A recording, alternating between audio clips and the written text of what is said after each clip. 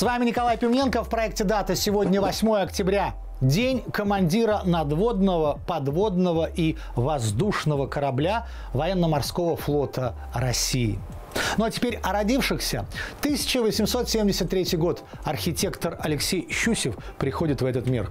Почти 11 лет он проводит за границей. В 1911 Щусев становится академиком архитектуры. И в этом же году назначен главным архитектором на строительстве нового здания Казанского вокзала, который, между прочим, строился почти 30 лет.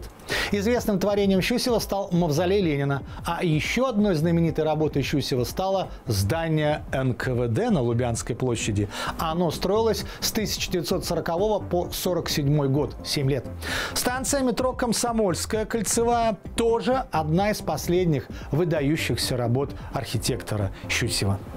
1892 год. В этот мир приходит Марина Цветаева, русская поэтесса, прозаик, переводчица, одно из самых ярких явлений в поэзии 20 века, причем мировой.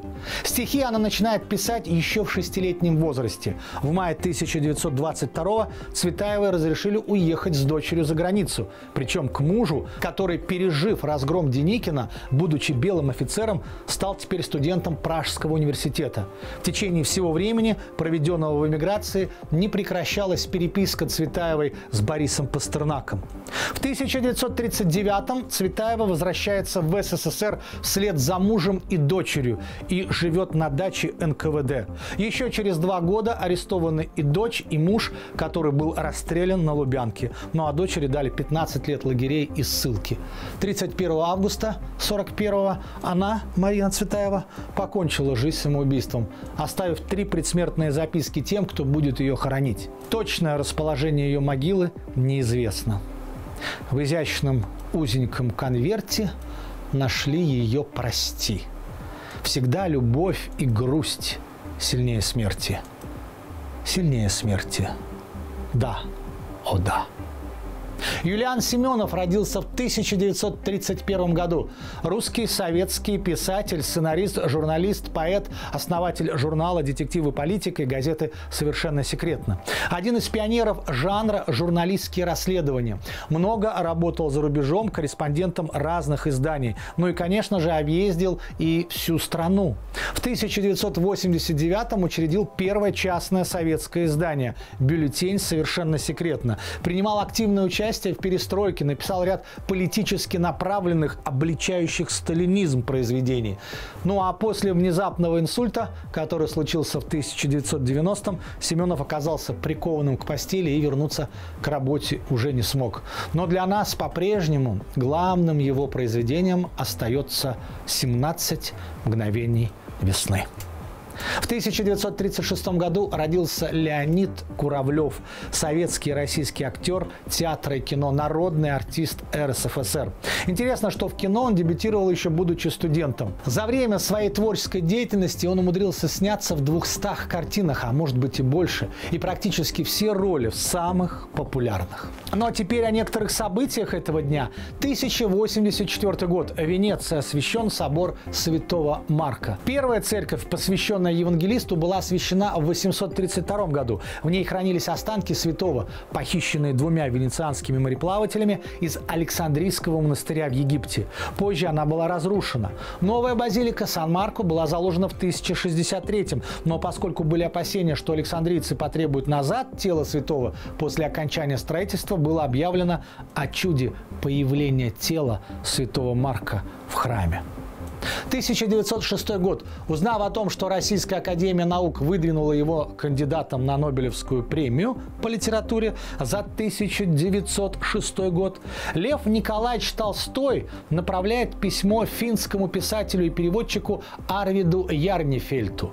В нем Толстой просит своего знакомого через шведских коллег постараться сделать так, чтобы мне не присуждали этой премии. Ибо если бы это случилось, мне было бы очень неприятно отказываться. Видимо, Ярнифельд выполнил это деликатное поручение, и премия была присуждена итальянскому поэту Кардуччи, имя которого сегодня известно разве что итальянским литературоведам. 1912 год. Князь Лев Голицын, основоположник российского производства шампанских вин, дарит Николаю II часть своего крымского имения «Новый свет» близ Судака. Причем с виноградниками и заводом. Ныне тот самый завод «Новый свет». Шаг был продиктован ухудшением здоровья старого князя, финансовыми трудностями и стремлением сохранить это уникальное производство. В особом подвале Голицын собрал лучшую в мире винную коллекцию из более чем 50 тысяч бутылок. В 1920-х годах она была передана в Массандру и несколько пополнена, а в 1990-м частично продана на аукционе Сотбис почти за полтора миллиона долларов, как лот, переименованный в вина из коллекции императора Николая. Что до названия «Новый свет», то существует следующая версия. Николай II как-то после обильной дегустации галицинской продукции якобы изрек «Теперь я вижу все в новом свете». 1941 составлен список предприятий Москвы, которые подлежат минированию. Постановлением Государственного комитета обороны предписывалось проведение специальных мероприятий по предприятиям Москвы и Московской области. В районах создаются тройки из первого секретаря райкома, начальника районного отдела НКВД и представителя инженерных частей Красной Армии, которые должны были выделить исполнителей, тщательно их проверить и обеспечить необходимыми материалами для выполнения минирования. 1945 год. Житель штата Массачусетс Перси Спенсер запатентовал микроволновую печь. Идея ее создания пришла ему в голову после того, как он, постояв у магнетрона, это электронная лампа, генерирующая микроволновое электромагнитное излучение, обнаружил, что лежавший в его кармане шоколадный батончик растаял. Первые свечи-печки, предназначавшиеся для армейских столовых и больших ресторанов, были в виде шкафов высотой 175 сантиметров и весом 340 килограммов. Более компактные домашние печки начали производиться с 1955 года. Но что самое интересное, мы с вами узнали о них где-то в конце 80-х. 1967. В Англии впервые применены трубки для определения алкоголя у водителей. Последствия были впечатляющими. Количество смертей на дорогах снизилось практически в два раза. Годом ранее была предпринята первая попытка провести через парламент закон, регламентирующий содержание этанола в крови. 0,8 промилле как гранично допустимый уровень и максимальную скорость 70 миль в час. Превышение этих показателей должно было рассматриваться как серьезное нарушение. 8 октября 1970 года Шведская академия присуждает Нобелевскую премию по литературе Александру Солженицыну за ту нравственную силу, с которой он продолжил традицию русской литературы. Александр Исаевич стал третьим представителем СССР, который получает эту престижную премию. До него такой чести удостаивались Борис Пастернак в 1958 и Михаил Шолохов в 1965. События дня. Лондон, 1906 год. Некто Карл Людвиг Нессер, английский парикмахер швейцарского происхождения, демонстрирует специально приглашенным коллегам новый способ длительной завивки, который получает название «перманент». Процесс длится 6 часов.